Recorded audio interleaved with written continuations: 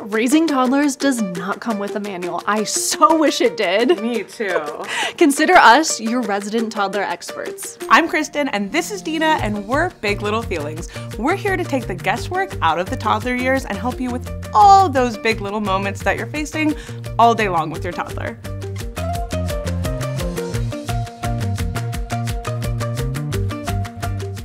Do you ever have those moments where your kid is just totally out of control? I'm talking they're hitting their baby sister, they're melting down over everything, everything is suddenly a battle, and you're just like, what is going on? We have an easy strategy that will stop those unwanted behaviors in their tracks. It's called the 10 minute miracle. All you're going to do is take 10 minutes to have special one on one time with your kid every day for a period of time. Your child wants your attention more than anything in this world. And then when there's any kind of outside situation happening, like a new baby, maybe they're going to a new school, this can cause your child to feel a little bit uneasy and need you a little bit more. Your child's brain is still developing. They just don't have the skills yet to be like, hey mom, I'm feeling worried and scared and nervous and I just kind of like need you right now. So if you're seeing an uptick of unwanted behavior, just know it is nothing you did. It's nothing that your kid did. Maybe your child just needs a little bit of extra attention.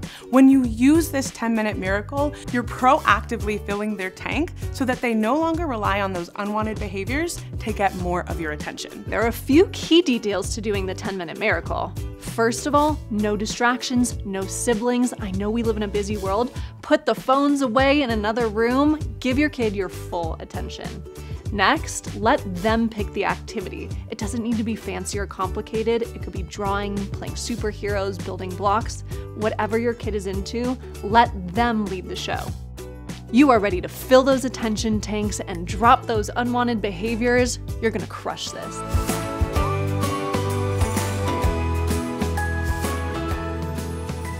Good. Okay, you were like, you were like, PBS 12 believes in the power of original, local programming. Help us bring more shows, like the one you just watched, by donating at pbs12.org/slash/program/support today.